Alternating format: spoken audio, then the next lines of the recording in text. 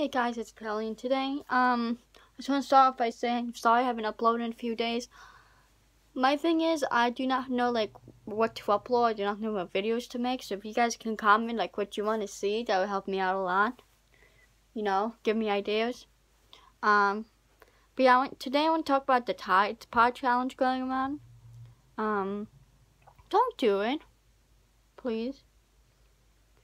Just don't do it. It's so stupid basically people are like eating Tide Pods or like just holding them in their mouth and what I've heard is that like the detergent is actually like eating away at the um esophagus so now they have to have feeding tubes some kids. I've heard that happen so you know just guys don't don't don't do it. It's no it's stupid. I don't understand why kids are doing it. It didn't take off luckily. It didn't get popular.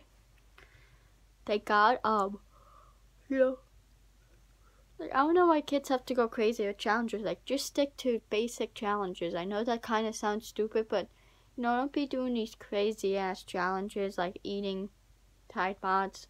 It's really not worth it. Okay? Um, that's it for this video. I just wanted to make this short video.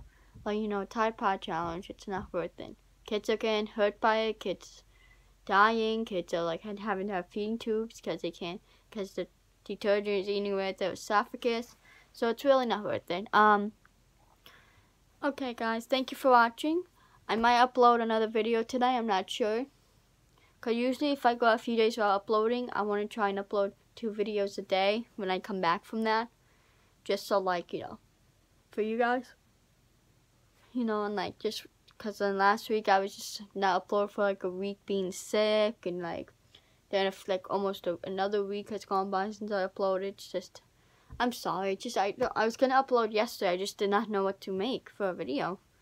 Um, I have some other videos I want to make, like theories about McJuggernuggets, but like I want to bring to I have more subscribers and more people watching me because those are videos that I really want to get views. You know, because I really want people to see. Because, anyways, um